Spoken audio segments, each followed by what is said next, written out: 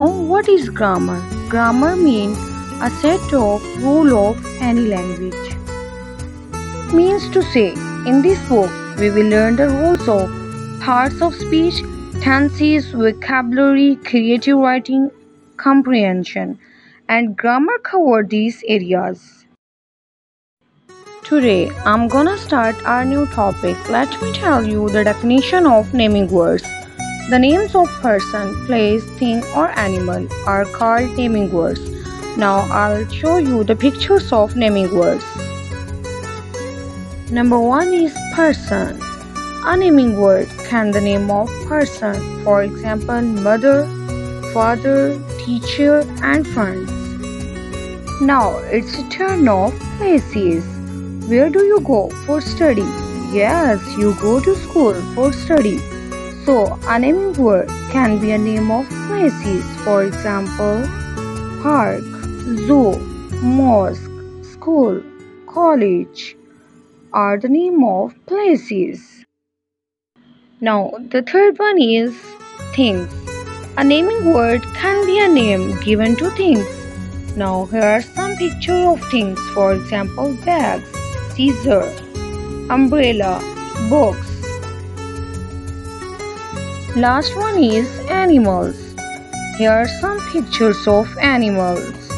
So, naming words can be a name given to animals. For example, owl, hen, rabbit, rat, chicken, cat, dog.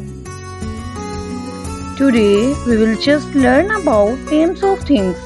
Open page number 1 and mark day and date on top of the page. My dear students, here is one interesting activity. You will enjoy it a lot. Names of things. This activity is relating with naming words. So, here are some names of things on the wall. You will pick up the correct names of things and write on the lines. Now, look at the first picture and start writing.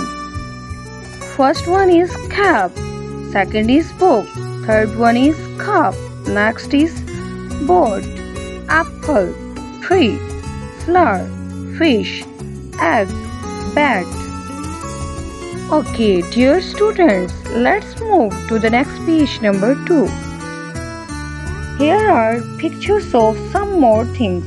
Their names are given in the list which are mentioned on the book. You will write the name of each thing under its picture. Now start writing. Number one is cake. Next is shoe. Third one is balloon. Next is fog.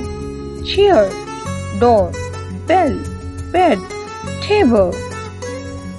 Hope you will learn and write the name of these things in good writing at home. Take care. Allah Hafiz.